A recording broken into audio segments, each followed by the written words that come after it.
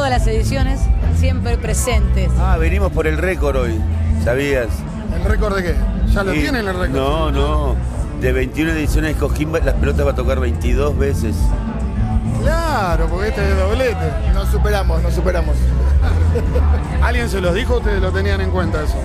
No, lo teníamos totalmente en cuenta. Sabés que somos una banda que está pendiente de esas cosas Los siempre. rankings son los nuestros.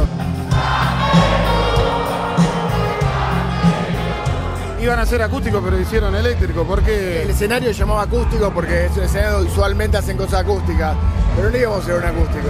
No queríamos hacer un acústico, porque el acústico es sinónimo de, de la pandemia, de- del protocolo, ¿viste? Estoy- todos nos vimos Claro. forzados a eso.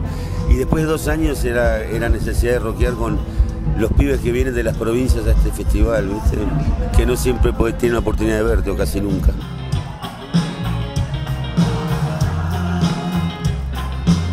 Ayer Adrián Darge lo dijo el mejor coquín de todos, refiriéndose a que, bueno, justamente estuvimos encerrados un montón de tiempo. Dos años sin esto es mucho. Claro, uno se acostumbra a que esto es lo normal, pero cuando no lo tenés después lo extrañas mucho.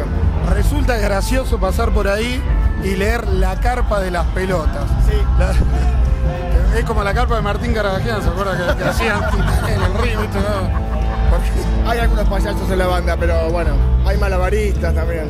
¿Llevarían este espectáculo la carpa de las pelotas y montan una No, carpa en ya, cada- ya- ya lo hizo Lerner eso, no, no, y no. Bueno, muchas gracias. ¿eh? Gracias a vos. Gracias. Saludos a todos y todas.